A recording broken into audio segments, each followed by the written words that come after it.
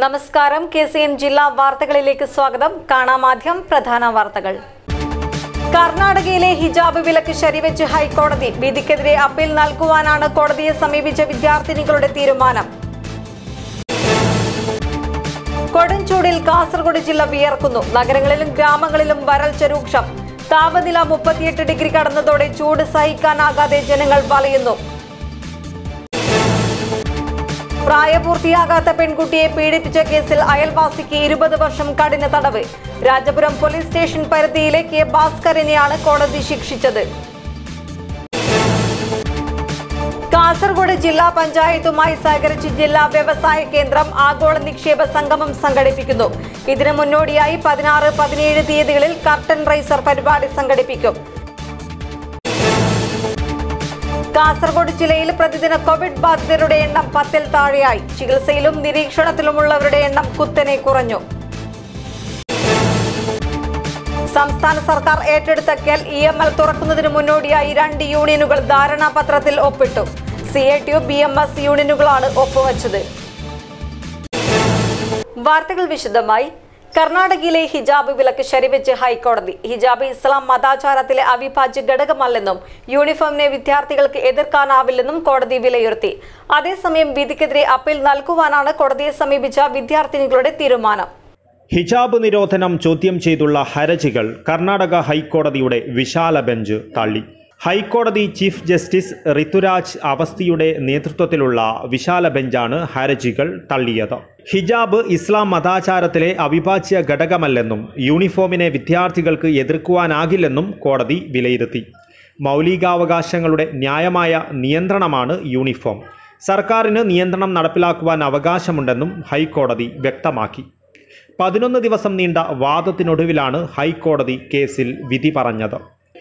ഹിജാബ് ധരിച്ചതിനെ തുടർന്ന് Udupi P U കോളേജിൽ നിന്നും പുറത്താക്കിയ ആറ് വിദ്യാർത്ഥിനികളാണ് കർണാടക ഹൈക്കോടതിയെ സമീപിച്ചത്. ഹിജാബ് നിരോധനം മൗലികാവകാശത്തിന്റെ ലംഘനമെന്നായിരുന്നു വിദ്യാർത്ഥികളുടെ വാദം. സിംഗിൾ ബെഞ്ചിൽ നൽകിയിരുന്ന ഹർജി പിന്നീട് വിശാല ബെഞ്ചിലേക്ക് മാറ്റുകയായിരുന്നു. അതേസമയം വിധിക്കെതിരെ അപ്പീൽ നൽകുവാനാണ് കോടതിയെ സമീപിച്ച വിദ്യാർത്ഥിനികളുടെ തീരുമാനം. ഹൈക്കോടതി ഉത്തരവിനെതിരെ സുപ്രീം കോടതിയെ സമീപിക്കുമെന്ന് വിദ്യാർത്ഥിനികൾ പറഞ്ഞു. News bureau Kasaragod.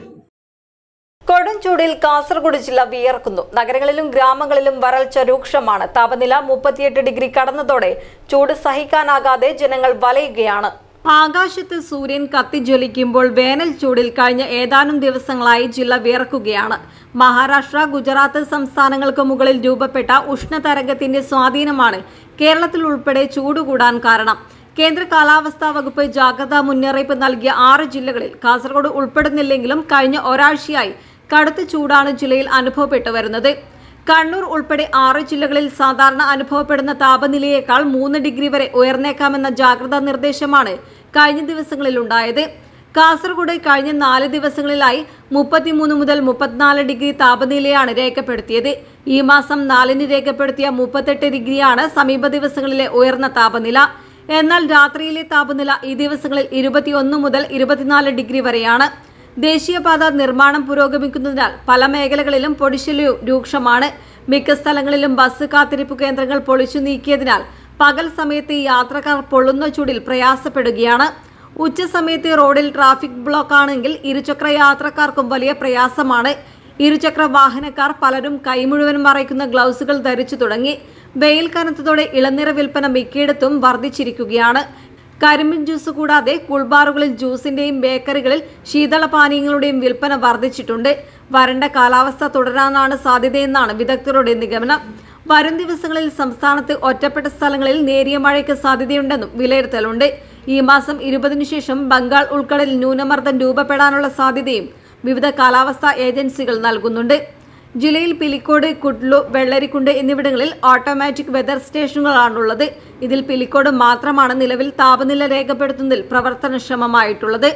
News bureau Kasaragod. പ്രായപൂർത്തിയാകാത്ത പെൺകുട്ടിയെ പീഡിപ്പിച്ച കേസിൽ അയൽവാസിക്ക് ഇരുപത് വർഷം കഠിന തടവ്. രാജപുരം പോലീസ് സ്റ്റേഷൻ പരിധിയിലെ കെ ഭാസ്കറിനെയാണ് ഹോസ്ദുർഗ് ഫാസ്റ്റ് ട്രാക്ക് സ്പെഷ്യൽ കോടതി ജഡ്ജി കെ സുരേഷ് കുമാർ ശിക്ഷിച്ചത്. അയൽവാസിയായ പെൺകുട്ടിയെ ഒന്നിലേറെ തവണ പീഡിപ്പിച്ചുവെന്ന കേസിലാണ് രാജപുരം പോലീസ് സ്റ്റേഷൻ പരിധിയിലെ കെ ഭാസ്കരനെ ഹോസ്ദുർഗ് ഫസ്റ്റ് ട്രാക്ക് സ്പെഷ്യൽ കോടതി ജഡ്ജി കെ സുരേഷ് കുമാർ ശിക്ഷിച്ചത്. രണ്ടായിരത്തി പതിനെട്ടിലാണ് കേസിനാസ്പദമായ സംഭവം. പതിനാല് വയസ്സുള്ള പെൺകുട്ടിയെ വീടിനകത്ത് വെച്ചും ശുചിമുറിയിൽ വെച്ചും പല ദിവസങ്ങളിലായി ഒന്നിലേറെ തവണ ലൈംഗിക പീഡനത്തിന് ഇരയാക്കിയെന്നാണ് കേസ്. സ്കൂളിലെത്തിയ കുട്ടി അസ്വസ്ഥത പ്രകടിപ്പിച്ചതിനെ തുടർന്ന് നടത്തിയ കൗൺസിലിംഗിലാണ് സംഭവം പുറത്തറിഞ്ഞത് അന്ന് രാജപുരം എസ് ഐ ആയിരുന്ന എം വി ശ്രീജു അന്വേഷണം നടത്തി പ്രതിയെ അറസ്റ്റ് ചെയ്യുകയും എ പി ജയശങ്കർ കുറ്റപത്രം സമർപ്പിക്കുകയും ചെയ്തു. ഐ പി സി മുന്നൂറ്റി എഴുപത്തിയാറാം വകുപ്പിലും പോക്സോ വകുപ്പിലുമായി പത്ത് വർഷം വീതമാണ് കഠിന തടവ്.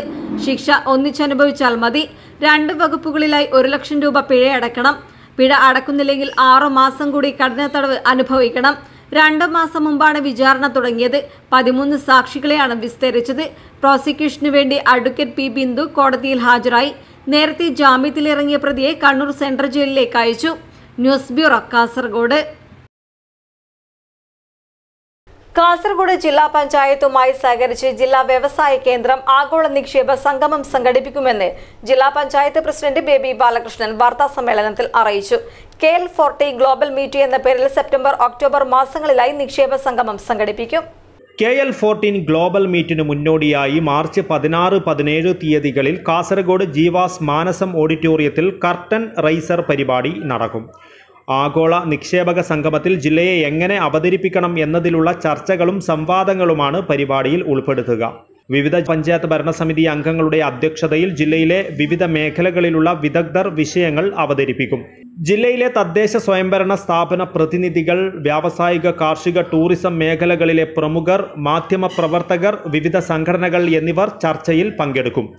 കാസർഗോഡ് ജില്ലാ കളക്ടർ ഭണ്ഡാരി സ്വാഗത് രൺവീർ ചന്ദ് പരിപാടി ഉദ്ഘാടനം ചെയ്യും. മുൻ ജില്ലാ collector doctor D Sajith Babu ചർച്ച നയിക്കും. പങ്കെടുക്കുവാൻ താൽപ്പര്യമുള്ള പൊതുജനങ്ങൾക്ക് ഫോൺ നമ്പർ മുഖാന്തരം രജിസ്റ്റർ ചെയ്യാം. നമ്മുടെ പ്രാദേശിക സാമ്പത്തിക വികസനം സാധ്യമാവണമെങ്കിൽ ഇത്തരത്തിലുള്ള ഗവൺമെന്റ് ഷെയർ മാത്രമല്ല ഗവൺമെന്റിൽ നിന്ന് കിട്ടുന്ന പദ്ധതികൾ മാത്രമല്ല മറിച്ച് പ്രൈവറ്റ് പാർട്ടിസിപ്പേഷനിലൂടെ കൂടി നമുക്ക് നമ്മുടെ നമ്മുടെ നാടിനെ വികസിപ്പിക്കേണ്ടിയിരിക്കുന്നു. അപ്പം അതിനുള്ള ഒരു പശ്ചാത്തല സൗകര്യം ഒരുക്കുക എന്നാണ് ജില്ലാ പഞ്ചായത്ത് ആലോചിക്കുന്നത്. ജില്ലാ പഞ്ചായത്തിന് മാത്രമേ അത്തരത്തിൽ ഉള്ള പദ്ധതികളായാലും ശരി അതിനുള്ള ഒരു നിർദ്ദേശങ്ങളൊക്കെ തന്നെ ചർച്ച ചെയ്തുകൊണ്ട് ഒരു മൂർത്ത രൂപത്തിലേക്ക് എത്തിക്കാൻ വേണ്ടി കഴിയും. അപ്പോൾ അതിന്റെ ഒരു കട്ടൺ റൈസർ പ്രോഗ്രാമാണ് പതിനാറ് പതിനേഴ് തീയതികളിൽ നമ്മൾ ജീവമാനസ ഓഡിറ്റോറിയത്തിൽ വെച്ച്. അതിൽ നമ്മുടെ ജില്ലയിലെ എല്ലാ തദ്ദേശ സ്വയംഭരണ സ്ഥാപനങ്ങളിലെ ജനപ്രതികളും പഞ്ചായത്ത് പ്രസിഡന്റുമാരും അവർ അവരുടെ ഒരു ഒരു പഞ്ചായത്ത് ഒരു പ്രൊഡക്റ്റ് എന്ന രീതിയിലേക്ക് പറഞ്ഞിരുന്നു. ജില്ലാ panchayat vice president Shanavas Padur standing committee chairman advocate Saritha S N ജില്ലാ വ്യവസായ കേന്ദ്രം general manager Sajith Kumar K ജില്ലാ ഇൻഫർമേഷൻ ഓഫീസർ കെ മധുസൂദനൻ എന്നിവർ വാർത്താ സമ്മേളനത്തിൽ പങ്കെടുത്തു. News bureau Kasaragod. മൂന്ന് പതിറ്റാണ്ട് മുമ്പ് വരെ ഗ്രാമീണ ജനതയ്ക്കിടയിൽ വലിയ സ്വാധീനം ചെലുത്തിയ സൈക്കിൾ യജ്ഞം വീണ്ടും സജീവമാകുന്നു. അന്നത്തെ കലാ കായിക പ്രകടനങ്ങളിൽ മാറ്റം വന്നെങ്കിലും സൈക്കിൾ യജ്ഞത്തിന്റെ രീതി ഇന്നും മാറുന്നില്ല. നഷ്ടപ്പെട്ട ഗ്രാമ സൗഭാഗ്യങ്ങളുടെ ഓർമ്മകൾ ഉണർത്തിയാണ് സൈക്കിൾ യജ്ഞം എന്ന ജനകീയ വിരുന്ന് ആസ്വാദകരെ തേടി വീണ്ടും എത്തിയത്. ഗ്രാമീണരുടെ വിനോദോപാധികൾ സിനിമയിലേക്കും മിമിക്രിയിലേക്കും പ്രൊഫഷണൽ നാടകങ്ങളിലേക്കും വഴിമാറിയപ്പോൾ എഴുപതുകളിൽ ഗ്രാമങ്ങളിലെ കവലകളിൽ കേട്ടുവന്ന ശബ്ദം അന്യമായി. വീണ്ടും ഉദിനൂരിലെ നാട്ടുകൂട്ടത്തെ പഴയ ഓർമ്മകളിലേക്ക് കൂട്ടിക്കൊണ്ടുപോകുവാൻ സൈക്കിൾ യജ്ഞകാലം തുടങ്ങി. മൈസൂർ ചാമുണ്ടേശ്വരി സ്വദേശി സുരേഷും സംഘവുമാണ് നാടിന് ആവേശം പകരുവാൻ ഉദിനൂരിൽ എത്തിയത്. ഒരു ചെറിയ സ്റ്റേജും സ്റ്റേജിന് മുന്നിലായി മൈക്ക് സ്ഥാപിച്ച കാലിനു ചുറ്റും യജ്ഞക്കാരൻ സൈക്കിൾ ഓടിച്ചുകൊണ്ടേയിരിക്കും. കറങ്ങിക്കൊണ്ടിരിക്കുന്ന സൈക്കിളിലൂടെ കാണികളുടെ നെഞ്ചിടിപ്പ് കൂട്ടിക്കൊണ്ട് മെയ് വഴക്കത്തോടെ അഭ്യാസ പ്രകടനങ്ങൾ. രണ്ട് മണിക്കൂർ നീണ്ടു നിൽക്കുന്ന പ്രകടനത്തിൽ ആട്ടവും പാട്ടും കൺകെട്ടും ഒക്കെ വിഭവങ്ങളാണ്.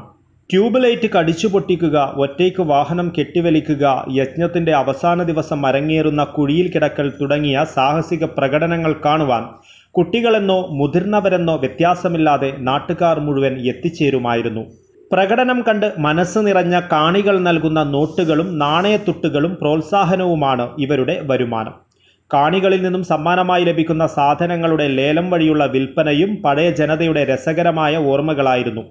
പഴയ മലയാളം തമിഴ് ഹിന്ദി സിനിമകളിൽ നിന്നുള്ള ഗാനങ്ങളിട്ട് അതിനനുസരിച്ച് നൃത്തം ചവിട്ടുന്ന കലാകാരന്മാരും ഇതിന്റെ മാത്രം പ്രത്യേകതയാണ്.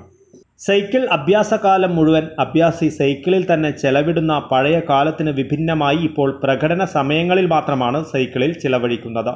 പണ്ട് സൈക്കിളിൽ ഇരുന്ന് തന്നെ ഭക്ഷണം കഴിക്കുകയും കുളിക്കുകയും ചെയ്യുന്ന കാഴ്ചകൾക്കൊപ്പം രണ്ട് സൈക്കിളുകൾ ചേർത്ത് വെച്ച് ഉറങ്ങുന്നത് കാണുവാനും കുട്ടികൾ മത്സരമായിരുന്നു. പുതുതലമുറയ്ക്ക് ഏറെക്കുറെ അപരിചിതമായ സൈക്കിൾ അഭ്യാസം ചിലർക്ക് പഴമയിലേക്കുള്ള തിരിച്ചുപോക്കായി മാറി.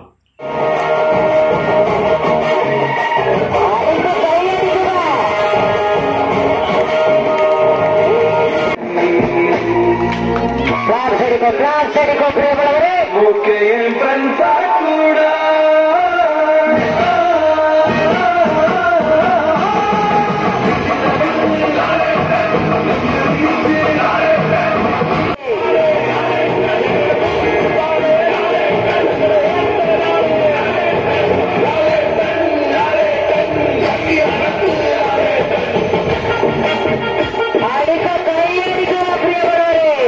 ഇടക്കാലത്ത് മോഹൻലാൽ സൈക്കിൾ അഭ്യാസിയായി അഭിനയിച്ച വിഷ്ണുലോകം എന്ന സിനിമ നൽകിയ ഓർമ്മകൾക്കു ശേഷം തട്ടുപൊളിപ്പൻ പാട്ടിനൊപ്പം ആടുവാനും സാഹസിക പ്രകടനങ്ങൾ ആസ്വദിക്കുവാനും ഗ്രാമീണ ജനത ഒന്നാകെ എത്തുകയാണ് ഉദിനൂരിലേക്ക്. News bureau Cheruvathur. കാസർഗോഡ് ജില്ലയിൽ പ്രതിദിന കോവിഡ് ബാധിതരുടെ എണ്ണം പത്തിൽ താഴെയായി. രണ്ട് വർഷത്തിനുള്ളിൽ ഇതാദ്യമായാണ് പ്രതിദിന പട്ടിക ഇത്രയും താഴ്ന്ന നിലയിൽ എത്തുന്നത്. ചികിത്സയിലും നിരീക്ഷണത്തിലുമുള്ളവരുടെ എണ്ണവും കുത്തനെ കുറഞ്ഞു.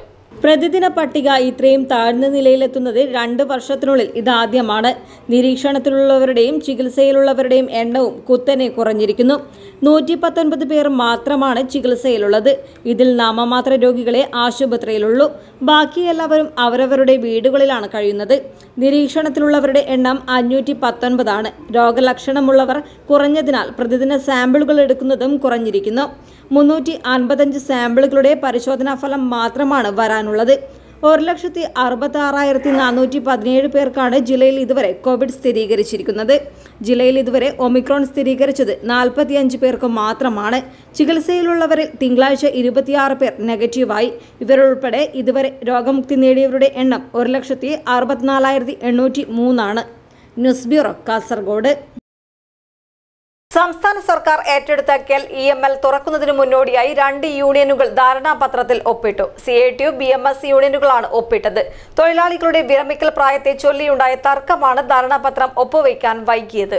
സി ഐ ടി യുവിന് വേണ്ടി സംസ്ഥാന secretary K N Gopinath N Ratnakaran എന്നിവരും ബി എം എസിനു വേണ്ടി K G Sabu T V Baby എന്നിവരുമാണ് ഒപ്പുവച്ചത്. I N T U C S T U യൂണിയനും കൂടി ധാരണാപത്രത്തിൽ ഒപ്പുവയ്ക്കണം. അടുത്ത ദിവസം തന്നെ ഇവർ ഒപ്പുവയ്ക്കുമെന്നാണ് സൂചന. നാല് യൂണിയനുകളും ഒപ്പുവയ്ക്കുന്നതോടെ കമ്പനിക്ക് തുറന്ന് പ്രവർത്തിക്കാം. തൊഴിലാളികളുടെ വിരമിക്കൽ പ്രായത്തെ ചൊല്ലിയുണ്ടായ തർക്കത്തെ തുടർന്നാണ് ധാരണാപത്രം ഒപ്പുവയ്ക്കാൻ വൈകിയത്. സംസ്ഥാനത്ത് വിരമിക്കൽ പ്രായം അമ്പത്തിയെട്ടാണ്. അതേസമയം കെൽ ഇ എം എൽ കമ്പനിയിൽ പെൻഷൻ പ്രായം അറുപതാക്കണമെന്ന ആവശ്യത്തിലായിരുന്നു തൊഴിലാളി സംഘടനകൾ. എന്നാൽ സംസ്ഥാന സർക്കാരിന് കീഴിലെ പൊതുമേഖലാ സ്ഥാപനങ്ങളിലെ വിരമിക്കൽ പ്രായം അൻപത്തെട്ട് വയസ്സായിരിക്കെ. കെല്ലിൽ മാത്രം വിരമിക്കൽ പ്രായം ഉയർത്താനാവില്ലെന്നാണ് സർക്കാർ നിലപാട്. ഒടുവിൽ ഈ നിർദ്ദേശം തൊഴിലാളി യൂണിയനുകളും അംഗീകരിക്കുകയായിരുന്നു. നിലവിലെ നൂറ്റി നാൽപ്പത്തിരണ്ട് തൊഴിലാളികളിൽ മുപ്പതിൽ താഴെ പേരാണ് അൻപത്തെട്ട് വയസ്സ് പൂർത്തിയാക്കിയവർ. News bureau Kasaragod. Kasaragod Chinmaya മിഷനും വിദ്യാനഗർ ചിന്മയ കോളനി ശ്രീകൃഷ്ണ മന്ദിര കമ്മിറ്റിയും സംയുക്തമായി സംഘടിപ്പിക്കുന്ന ശ്രീമദ് ഭാഗവത സപ്താഹത്തോടനുബന്ധിച്ച് നടത്തിയ രുക്മിണി സ്വയംവര ഘോഷയാത്ര ശ്രദ്ധേയമായി. രുക്മിണി സ്വയംവര ഘോഷയാത്ര വിദ്യാനഗർ ചുറ്റി യജ്ഞവേദിയിൽ സമാപിച്ചു. Chinmaya mission Kerala regional head Swami Vivikthananda Saraswati ഉദ്ഘാടനം ചെയ്ത ശ്രീമദ് ഭാഗവത സപ്താഹം പാലക്കാട് ചിന്മയ മിഷനിലെ ബ്രഹ്മചാരി മുകുന്ദ ചൈതന്യയുടെ നേതൃത്വത്തിലാണ് പുരോഗമിക്കുന്നത്. യജ്ഞാചാര്യൻ ഉണ്ണിക്കുമാരൻ പാലക്കാട് മടമന മനോജ് നമ്പൂതിരി തുടങ്ങിയവർ സഹ ആചാര്യന്മാരാണ്.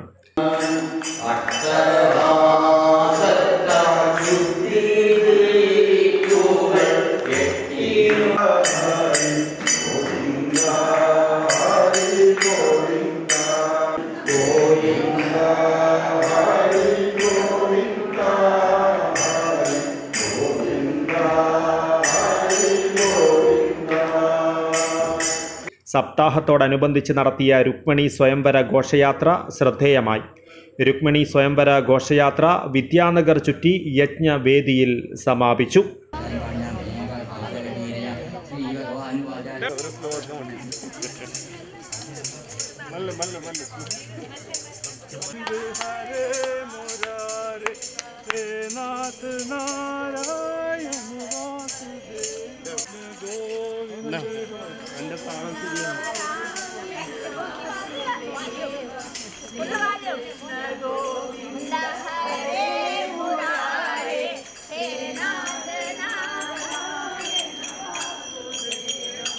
സപ്താഹത്തോടനുബന്ധിച്ച് വിദ്യാർത്ഥികൾക്ക് വേണ്ടി വിദ്യാഗോപാല മന്ത്രാർച്ചനയും സ്ത്രീകൾക്ക് വേണ്ടി സർവൈശ്വര വിളക്ക് പൂജയും നടന്നു. ക്ഷേത്ര പ്രതിഷ്ഠാദിനമായ മാർച്ച് പതിനേഴിന് രാവിലെ പത്ത് മണിക്ക് സാമൂഹിക സത്യനാരായണ പൂജ നടക്കും. തുടർന്ന് സമൂഹ ഭോജനം നടക്കും. News bureau Kasaragod. AIIMS Kasaragod അനുവദിക്കണമെന്നാവശ്യപ്പെട്ട് ജനകീയ കൂട്ടായ്മ നടത്തുന്ന സമരം രണ്ടു മാസം പിന്നിട്ടു. പ്രതിഷേധം ശക്തമാക്കുന്നതിന്റെ ഭാഗമായി ഇരുപത്തിരണ്ടിന് കളക്ടറേറ്റ് മാർച്ച് നടത്താൻ സമരസമിതി തീരുമാനിച്ചിട്ടുണ്ട്. എയിംസ് ശുപാർശയിൽ ജില്ലയുടെ പേര് കൂടി ഉൾപ്പെടുത്തണമെന്ന് ആവശ്യപ്പെട്ട് എയിംസ് കാസർഗോഡ് ജനകീയ കൂട്ടായ്മ നടത്തുന്ന അനിശ്ചിതകാല നിരാഹാര സമരം രണ്ടു മാസം പിന്നിട്ടിരിക്കുന്നു. പട്ടിണി സമരത്തെ സർക്കാർ അവഗണിക്കുന്നതിൽ പ്രതിഷേധിച്ച് ഇരുപത്തിരണ്ടിന് കളക്ടറേറ്റ് മാർച്ച് നടത്താൻ സംഘാടക സമിതി തീരുമാനിച്ചിരിക്കുന്നു.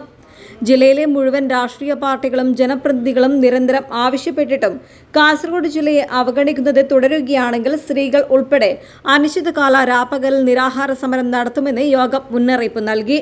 നമുക്കത് സ്ഥായിയായി അല്ല സ്ഥിരമല്ല. നമ്മൾ അതിർത്തി അടക്കപ്പെട്ടപ്പോൾ ശ്വാസം മുട്ടി മരിക്കേണ്ട ഗതികേട് കാസർഗോഡ് ജില്ലക്കാർക്കുണ്ട് എന്ന ഒരു ദുഃഖസത്യം ജനങ്ങളെ മനസ്സിലാക്കിയതിന് ശേഷം ആണ് ഞങ്ങൾക്ക് ഞങ്ങളുടെ സമരത്തിന് ജനങ്ങളുടെ അനുഭാവ പ്രകടനങ്ങളുണ്ടായിരുന്നു പക്ഷേ മുഖ്യരാധ രാഷ്ട്രീയ പാർട്ടികൾ കാസർഗോഡ് ജില്ലയുടെ കാര്യം പറയുന്ന കാര്യത്തിൽ കുറച്ച് പ്രതികരണ ശേഷി നഷ്ടപ്പെട്ട രീതിയിലാണ് നമുക്ക് കാണുന്നത്. എന്നാലും രാഷ്ട്രീയത്തിന് അതീതമായി ജാതി മതങ്ങൾക്ക് അതീതമായി കാസർഗോഡ് ജില്ലക്കാരായിട്ടാണ് ഞങ്ങൾ പ്രവർത്തിക്കുന്നത്. News bureau Kasaragod. ഇരുപത്തിയെട്ട് ഇരുപത്തിയൊൻപത് തീയതികളിൽ നടത്തുന്ന ദേശീയ പണിമുടക്കിന്റെ പ്രചരണാർത്ഥം നടക്കുന്ന വാഹന പ്രചരണ ജാഥകൾ കാസർഗോഡ് നിന്ന് ആരംഭിച്ചു. പുതിയ ബസ് സ്റ്റാൻഡ് പരിസരത്ത് സംഘടിപ്പിച്ച ചടങ്ങിൽ എസ് ദേശീയ പ്രസിഡന്റ് എം റഹമത്തുള്ള ജാഥകളുടെ ഉദ്ഘാടനം നിർവഹിച്ചു. ജനങ്ങളെ സംരക്ഷിക്കുക രാജ്യത്തെ സംരക്ഷിക്കുക എന്ന മുദ്രാവാക്യവുമായി സംയുക്ത തൊഴിലാളികൾ ഇരുപത്തിയെട്ട് ഇരുപത്തിയൊൻപത് തീയതികളിൽ നടത്തുന്ന ദേശീയ പണിമുടക്കിന്റെ പ്രചരണാർത്ഥം നടക്കുന്ന രണ്ട് വാഹന ജാഥകൾക്ക് തുടക്കം. കാസർഗോഡ് പുതിയ ബസ് സ്റ്റാൻഡിൽ എസ് ദേശീയ പ്രസിഡന്റ് എം റഹ്മത്തുള്ള ജാഥകളുടെ ഉദ്ഘാടനം നിർവഹിച്ചു.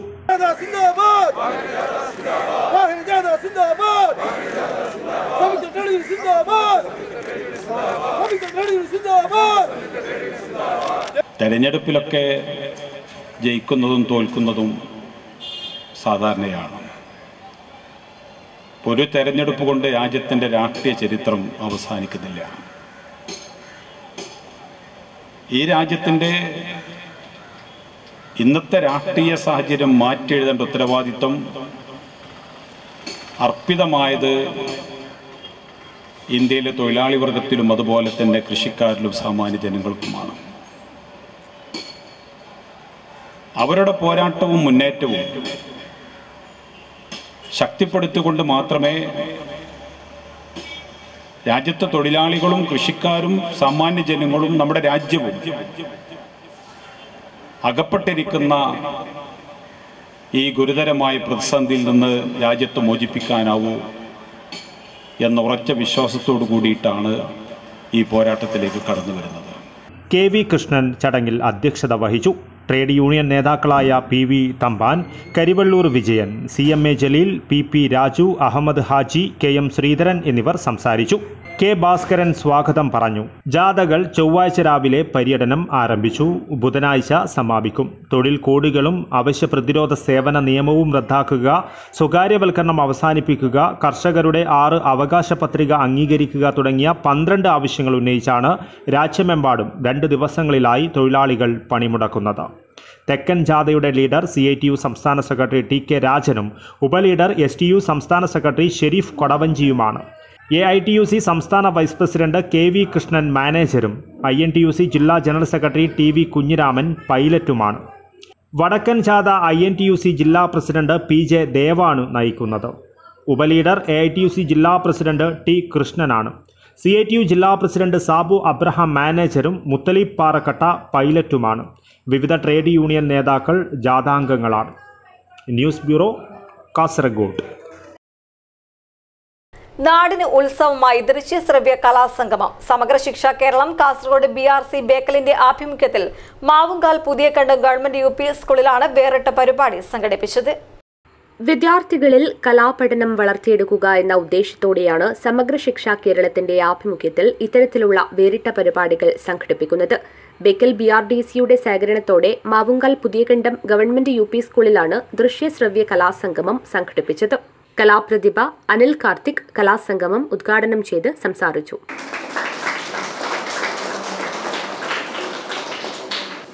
നിങ്ങളെല്ലാവരും നല്ല കഴിവ് ഉള്ള കുട്ടികളാണെന്ന് എനിക്കറിയാം. അതുകൊണ്ടാണ് ഇവിടെ ഇരിക്കുന്നത്. നിങ്ങൾ എന്തൊക്കെ ചെയ്യാൻ ഉദ്ദേശിക്കുന്നു? അതൊക്കെ വലിയ രീതിയിൽ ലോകം അറിയപ്പെടുന്ന ഒരു ചിത്രകാരനോ ശില്പിയോ കലാകാരന്മാരോ കലാകാരികളോ ആകട്ടെ എന്ന് പറയുന്നു. നിങ്ങൾ എല്ലാവരും പൂർണ ഇവിടെ നടക്കുന്ന ഓരോ കാര്യങ്ങളും പൂർണമായ മനസ്സോടെ ഉൾക്കൊണ്ട് ഇരിക്കാൻ പറ്റുവാണെങ്കിൽ മാത്രമേ നിങ്ങൾക്ക് ഈ പരിപാടി വിജയിപ്പിക്കാൻ പറ്റുള്ളൂ. അജാനൂർ ഗ്രാമപഞ്ചായത്ത് പ്രസിഡന്റ് ടി ശോഭ ആരോഗ്യ വിദ്യാഭ്യാസ standing committee chairperson Sheeba Ummer diet lecturer E V Narayanan S S K ജില്ലാ പ്രോഗ്രാം ഓഫീസർമാരായ Narayana D Madhusoodanan M M block project coordinator K M Dileep Kumar എന്നിവർ സംസാരിച്ചു. ബെക്കൽ ഉപജില്ലയിലെ വിവിധ വിദ്യാലയങ്ങളിൽ നിന്നായി അറുപതോളം വിദ്യാർത്ഥികൾ പരിപാടിയിൽ പങ്കെടുത്തു. B R D C trainer Sanalkumar Vellooda മോഡറേറ്ററായി തുടർന്ന് ജയരാമ പാട്ടാളി പടുമലയുടെ നേതൃത്വത്തിൽ യക്ഷഗാനവും അരങ്ങേറി. ആർ രാജീവിന്റെ നേതൃത്വത്തിലുള്ള പരിപാടിയും മംഗലം കളി നാടൻപാട്ട് തുടിപ്പാട്ട് എന്നിവയും ദൃശ്യശ്രവ്യ കലാ സംഗമത്തിന് മോടികൂട്ടി. തുടർന്ന് കലാരൂപങ്ങളുടെ വിശദീകരണവും നടന്നു. അജാനൂർ കടപ്പുറം കൂറുമ്പ ഭഗവതി ക്ഷേത്രത്തിൽ പൂരമഹോത്സവത്തിന്റെ ഭാഗമായി സാംസ്കാരിക സമ്മേളനം സംഘടിപ്പിച്ചു. E Chandrasekharan M L A ഉദ്ഘാടനം നിർവഹിച്ചു. ജില്ലയിലെ പ്രസിദ്ധമായ കഞ്ഞങ്ങാട് അജാനൂർ കടപ്പുറം കുറുമ്പ ഭഗവതി ക്ഷേത്രത്തിൽ പത്ത് ദിവസങ്ങളിലായി നടത്തുന്ന പൂരം മഹോത്സവത്തിന് കാർത്തിക നക്ഷത്രം ഒന്നാം കാലിൽ മേടം രാശിയിലെ ശുഭമുഹൂർത്തത്തിലാണ് കൊടിയേറ്റം നടത്തിയത്. മഹോത്സവത്തിന്റെ ഭാഗമായി ക്ഷേത്രത്തിൽ സാംസ്കാരിക സമ്മേളനം സംഘടിപ്പിച്ചു. E Chandrasekharan M L A സമ്മേളനം ഉദ്ഘാടനം ചെയ്തു. മത്സ്യത്തൊഴിലാളികളുടെ സുരക്ഷിതത്വത്തിന് വേണ്ടിയുള്ള അജാൻ ഫിഷിംഗ് ഹാർബർ ഈ ഫിഷിംഗ് ഹാർബറുമായി ബന്ധപ്പെട്ട പ്രശ്നങ്ങൾ ഉയർന്നു വന്നത് ഞാൻ എം എൽ എ ആകുന്നതിന് ശേഷം മാത്രമല്ല അതിനു മുമ്പും ഉള്ളതാണ്. പക്ഷെ അതിന്റെ ആദ്യ ഘട്ടത്തിൽ നടത്തിയ ശ്രമങ്ങൾ ആദ്യത്തെ അഞ്ച് വർഷക്കാലം വേണ്ടതുപോലെ നടന്നില്ല. രണ്ടാമത്തെ അഞ്ച് വർഷത്തിലെങ്കിലും അത് കടക്കുമെന്ന പ്രതീക്ഷയോടുകൂടി നിങ്ങളും ഞാനും കാത്തുനിന്നു. പ്രത്യേകിച്ച് ഇവിടെ വന്ന അന്നത്തെ വകുപ്പിന്റെ ചുമതല വഹിക്കുന്ന മന്ത്രി ഉൾപ്പെടെയുള്ളവർ. ഞാൻ ഏത് ആൾ ആളുകളിൽ നിന്ന് ചുമതലയെടുക്കുമ്പോഴും അവരെ നേരിട്ട് ഇവിടെ വിളിച്ചു വരുന്നത് അന്ന് എനിക്ക് ഓർമ്മയുണ്ട് ആദ്യം ഞാൻ എം എൽ എ ആയപ്പോൾ യു ഡി എഫിന്റെ ഭരണം ആരുടേതാണ് എന്നതൊരു പ്രശ്നമല്ല. എം എൽ എമാരെന്ന നിലയിൽ അന്നത്തെ ഭരണാധികാരിയെ അന്നത്തെ ഫിഷറീസ് മന്ത്രി ബാബു സുമാൻ ബാബുവിനോട് ആവശ്യപ്പെട്ട അദ്ദേഹത്തെയും കൂട്ടി ഇവിടെ വന്ന് സംസാരിച്ചിരുന്ന ക്ഷേത്ര പ്രസിഡന്റ് എ സുരേഷ് അധ്യക്ഷനായി അഡ്വക്കേറ്റ് ടി കെ സുധാകരൻ മുഖ്യപ്രഭാഷണം നടത്തി. പഞ്ചായത്ത് അംഗങ്ങളായ കെ രവീന്ദ്രൻ അശോകൻ എന്നിവർ സംസാരിച്ചു. സെക്രട്ടറി വി വി സുഹാസ് സ്വാഗതവും. Joint secretary P K Sunil നന്ദിയും പറഞ്ഞു. കാഞ്ഞങ്ങാട് സിവിൽ ഡിഫൻസിന്റെ രണ്ടാമത്തെ ബാച്ചിന്റെ പരിശീലനം ആരംഭിച്ചു. പ്രഥമ ശുശ്രൂഷ പാമ്പു കടിയേറ്റാൽ ചെയ്യേണ്ട മുൻകരുതൽ തുടങ്ങിയവ സംബന്ധിച്ചുള്ള ക്ലാസുകളാണ് സംഘടിപ്പിച്ചത്. ഭക്ഷണ വിതരണം അണുനശീകരണം വാക്സിനേഷൻ ഡ്യൂട്ടി മറ്റ് രക്ഷാപ്രവർത്തനം തുടങ്ങി കഴിഞ്ഞ ബാച്ച് സിവിൽ ഡിഫൻസിന്റെ പ്രവർത്തനം മാതൃകാപരമാണെന്നും ജനങ്ങളുടെ ജീവനും സ്വത്തും ഏതൊരടിയന്തര സാഹചര്യത്തിലും ഇടപെടാൻ ഓരോ അംഗത്തിനും കഴിയണമെന്നും station officer P V Pavithran പറഞ്ഞു. സിവിൽ ഡിഫൻസിന്റെ രണ്ടാമത് ബാച്ചിന്റെ പരിശീലന ഉദ്ഘാടനം നിർവഹിച്ച് സംസാരിക്കുകയായിരുന്നു അദ്ദേഹം. Assistant station officer A Nasaruddin senior fire and rescue ഓഫീസറും കോർഡിനേറ്റർമാരായ കെ വി മനോഹരൻ പ്രഥമ ശുശ്രൂഷ പാമ്പുകടിയേറ്റാൽ ചെയ്യേണ്ട മുൻകരുതൽ തുടങ്ങിയവ സംബന്ധിച്ചുള്ള വിഷയങ്ങളെപ്പറ്റി ക്ലാസ് എടുത്തു. Senior fire and rescue officer Sutheesh ഉപ കോർഡിനേറ്റർമാരായ H Umeshan E Shiju civil defence post warden Pradeep Kumar എന്നിവർ സംസാരിച്ചു. ഈ ബാച്ചിൽ അൻപത് പേർക്കാണ് പരിശീലനം ആദ്യം സ്റ്റേഷൻ തലത്തിലും ജില്ലാ തലത്തിലും സംസ്ഥാന തലത്തിലുമായി നൽകുന്നത്. വടക്കൻ കേരളത്തിൽ മീനച്ചൂട് കനത്തതോടെ പൂരോത്സവത്തിന്റെ ആരവങ്ങളും ഉയർന്നു. പൂവിളികളും പൂരക്കളി ശീലുകളുമായി മീനമാസത്തിലെ പൂരം നാളിനെ നാട് വരവേറ്റു കഴിഞ്ഞു. കണ്ണൂർ കാസർഗോഡ് ജില്ലകളിൽ മീനമാസത്തിൽ ഒൻപത് ദിനങ്ങളിലായി നടക്കുന്ന പൂരോത്സവം ഓണം എന്ന പോലെ സമൂഹം ഒന്നടങ്കം ആഘോഷിക്കുന്ന ഒരു ആചാരമാണ്.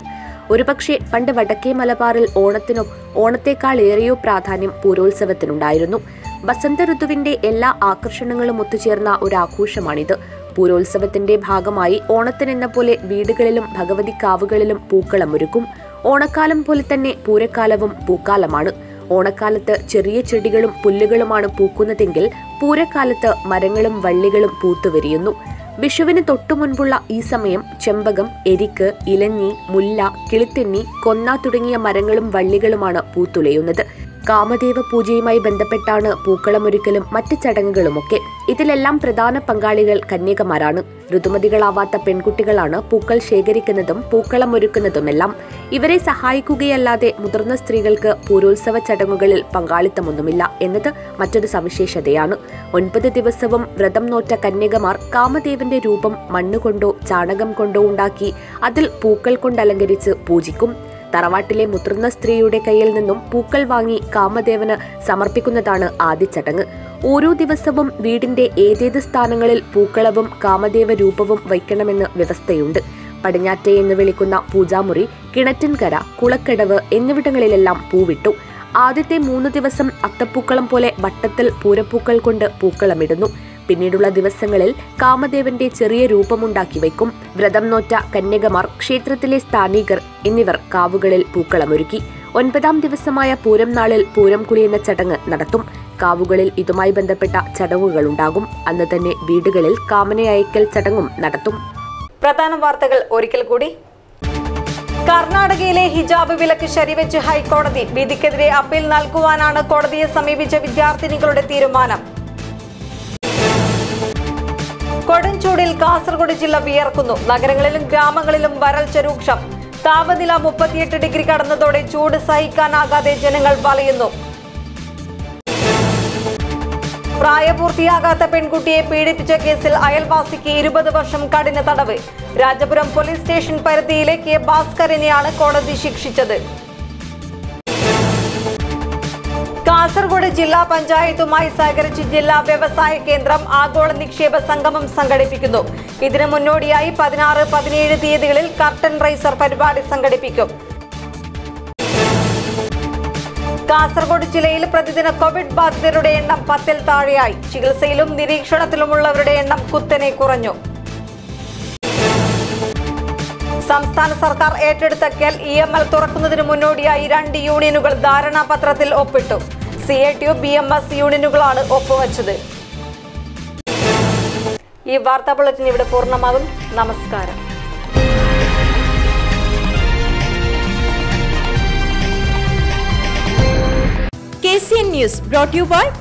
പരിശുദ്ധിയുടെ പൊൻതിളക്കം. City gold and diamonds Kerala Karnataka.